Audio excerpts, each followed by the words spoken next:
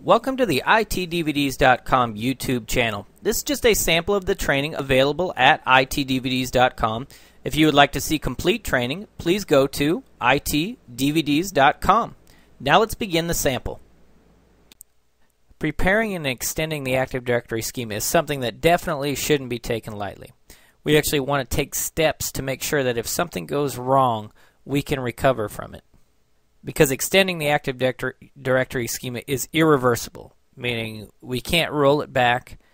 Basically, we've got to stop replication on the schema master and then make sure everything goes okay with the extension and then re-enable our replication.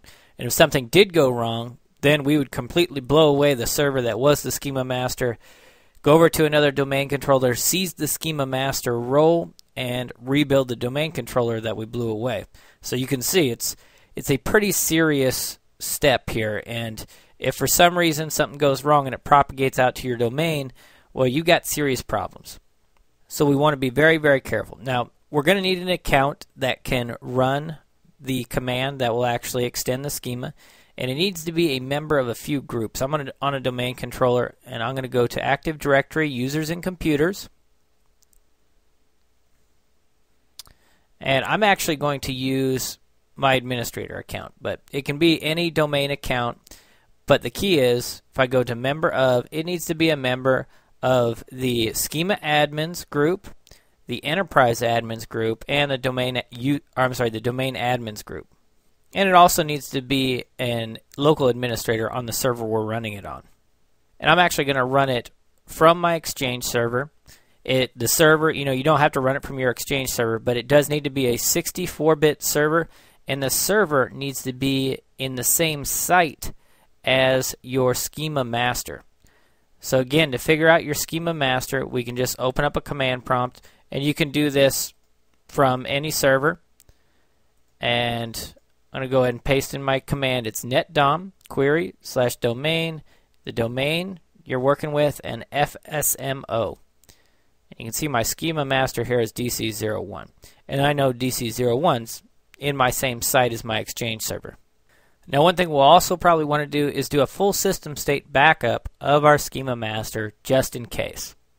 So now let's go over to our Exchange server. And we're actually going to need to install some Active Directory remote server administrative tools on this. And one of the easiest ways to do it is go to Administrative Tools, open up our PowerShell modules, and I'm just going to run the command add dash Windows feature rsat dash adds. Hit enter. And that's going to go ahead and install our remote server administration tools for Active Directory. And we need these tools in order to be able to run the command that will actually extend the schema. Okay, that ran successfully. I'll go ahead and close out. Now we're going to open up a command prompt, run as administrator, and we're going to go to the drive that has our DVD in it. Mine's in my D drive, so I'm going to type in D colon, hit enter, and I'm going to type in setup space slash prepare schema.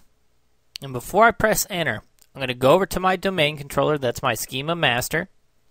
Here I am on DC01. I've got an administrative command prompt open and I'm going to type in the command rep admin space slash options space DC01, which is my schema master, a space, then the plus sign, disable underscore outbound underscore REPL. Hit enter, and obviously we want to do this during some kind of maintenance window when, you know, things might be able to go a little bit wrong and we have some time to fix it. But all we're doing here is we're stopping replication.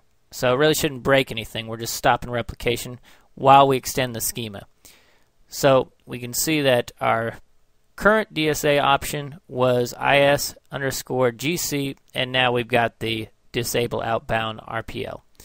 So now let's go back over to Exchange and run that command to extend the schema. Again, setup space slash prepare schema. I'll go ahead and hit enter. And it gives you a little message saying if you agree to the license terms, don't do anything. But if you want to cancel this, press a button to cancel it. If you don't press a button, it's going to go on and extend the schema.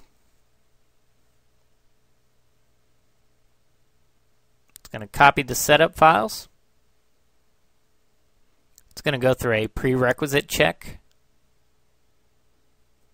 And if you pass the prerequisite check, it'll go ahead and extend the Active Directory schema. And while this is running, one thing I want to note is that technically, if you just run the Exchange installer, it will run this for you, the prepare schema, and actually prepare a Active Directory, which we're going to do next. But really, you want to do it manually because one, if something goes wrong, you know exactly where it went wrong, and two, for replication purposes. If you have a lot of domain controllers, you have to wait for replication to finish on this prepare schema process before you move on to the prepare Active Directory. And the, the installer isn't going to wait, it's just going to go ahead and do it. So if you just got one domain controller, that's going to work fine. But if you've got more than one, you're probably going to run into problems. So, like in a lab, it might work great, but in production, it might not work. And really, when you're doing it in a lab, you want to test it out like you're doing it in production. So, it's best to do it manually. Okay, and the Active Directory schema was extended successfully. So that's good. That's what we want to see. If we don't see that, then we probably want to figure out the problem before we re-enable replication on our schema master. So it completed successfully. So let's go back over to our schema master. And we're going to run the same command except instead of a plus, we're going to use a minus sign. So I'll go ahead and hit enter. And you can see now the new DSA options are back to is underscore GC. So by doing this, we've re-enabled replication.